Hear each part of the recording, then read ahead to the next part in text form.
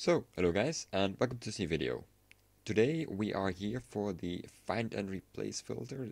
Um, this functionality was already kinda possible with the advanced stacker 1.0 but it was it required you to fill in a lot of options and stuff which was a bit annoying I think and also the advanced stacker 1.0 was written when I had way less knowledge of how filters work and stuff so uh, yeah uh, uh, this one is has been written in a way more, well, reliable way, I think.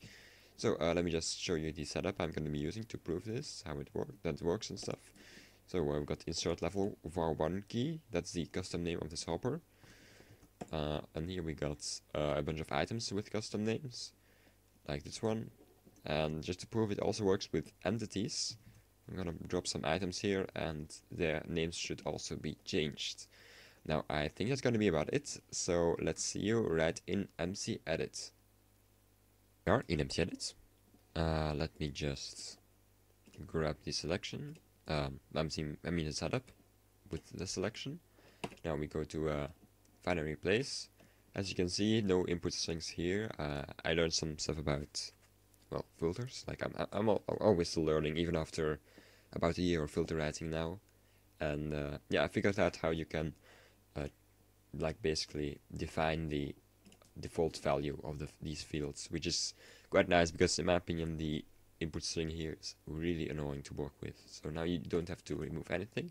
However, if you just run a filter like this, it will give a, an error. Anyway, let me just uh, replace that var1 I showed you with something else like var2. You would probably use some uh, actually like a number something concrete. Of course, it also works with command blocks, which would probably be its main functionality uh, for most people, but I'm just um, using this setup to show it here. Anyway, guys, uh, we run that filter, I think, and it worked, so let's see you right back in Minecraft. So, here we are, back in Minecraft, and let me just show you as that everything has been replaced, so var1 becomes var2, same thing over here, and also the items should have been changed. So yep, we got var2 key now. Okay, uh, so yeah, that uh, shows how it works, that it works, that kind of stuff. Uh, so I think that's gonna be about it. Um, there will be more uh, filters upcoming about stacking and advanced stacking uh, in the next, well, I don't know, maybe month. Uh, soon, let's just call it soon. Um, so yeah, I think that's gonna be about it. Thanks for watching. Uh, I hope you liked the video, but even if you didn't, just leave a rating. And I hope I will see you in another video.